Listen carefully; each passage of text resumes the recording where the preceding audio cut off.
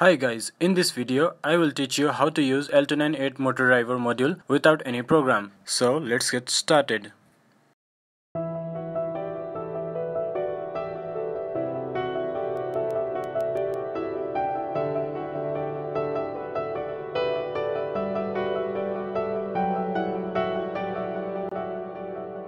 We have three terminal connectors and one signal connector.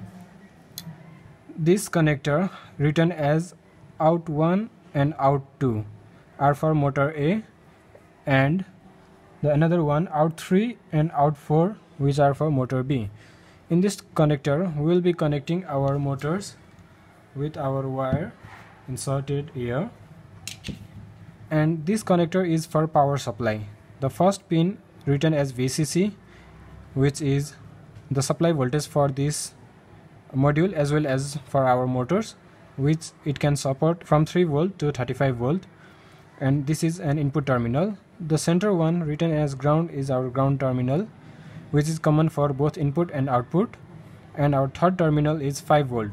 This is 5 volt output which can give 0.5 ampere at maximum. This portion or this 5 volt is regulated with this 5 volt regulator IC this is our regulator IC which accept input from our VCC so the maximum limitation is 35 volt.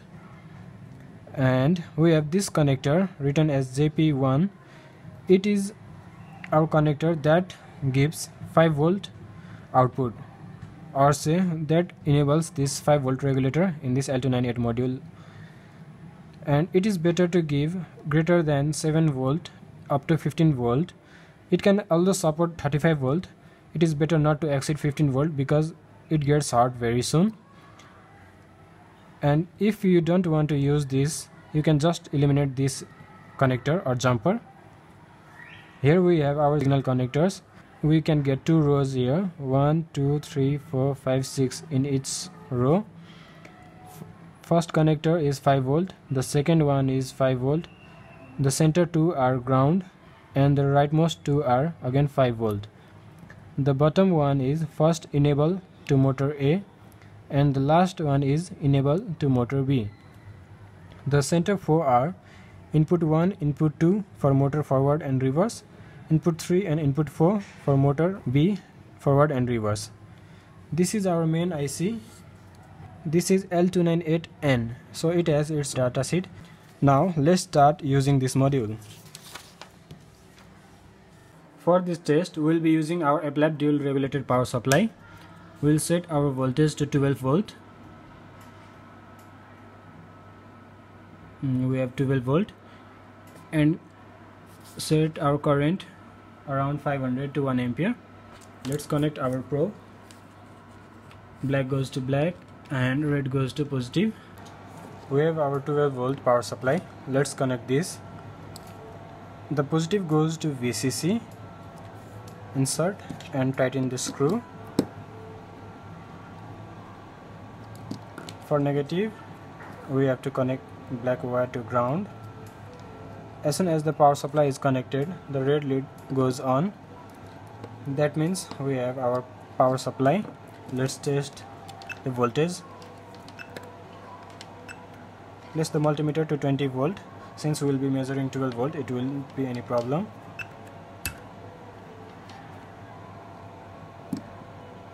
we have 11.99 volt which is around 12 volt.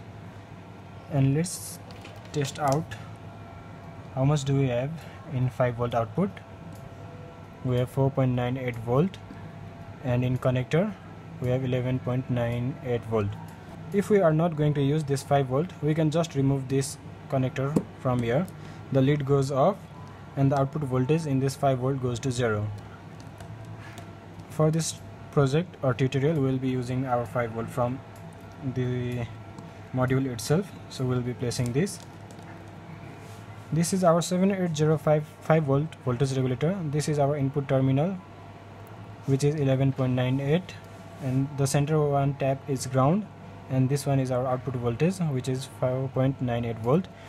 If you don't light up this you don't you have to first check this connector is connected or not if this is connector and this lights up there should be 5 volt in our 5 volt connector. Now let's connect the motors.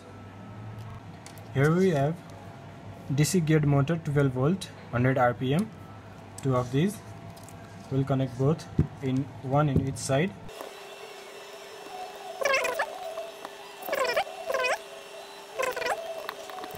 Since we have powered this device none of our motors are rotating to rotate our motor we need to insert or we need to provide in 1 in 2 in 3 in 4 respectively.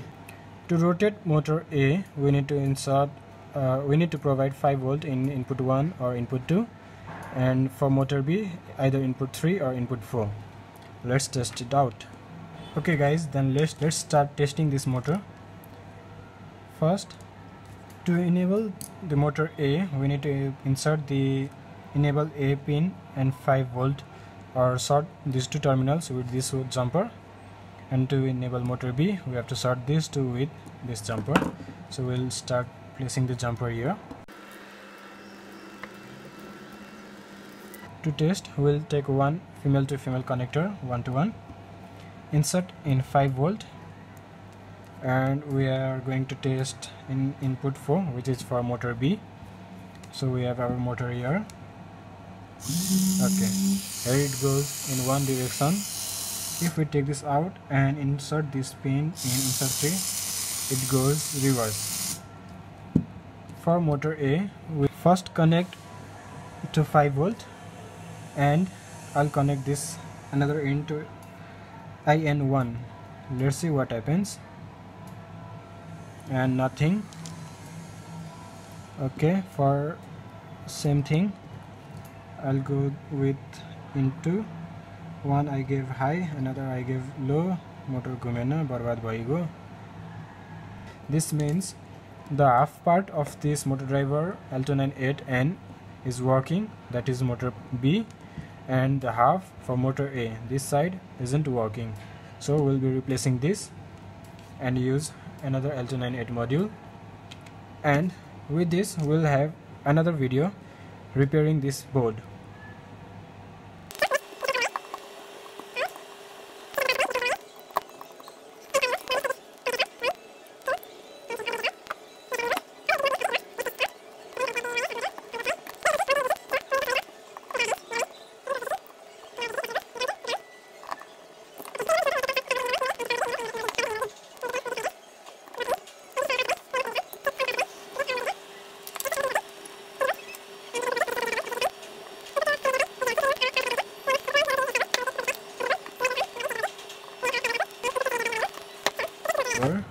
again we'll use our female to female connector. Connect to 5 volt and give it a try. Motor B goes on in one direction and another direction. Motor A also goes on in one direction and in reverse direction. So to run both motors simultaneously we need two input supply both connected to 5 volt.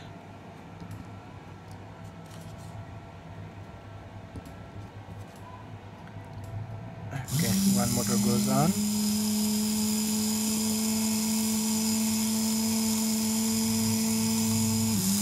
And another also goes on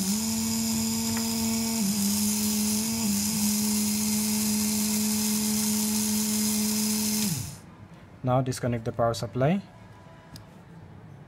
Let's get this both motor in reverse direction and switch it on. Now it goes reverse.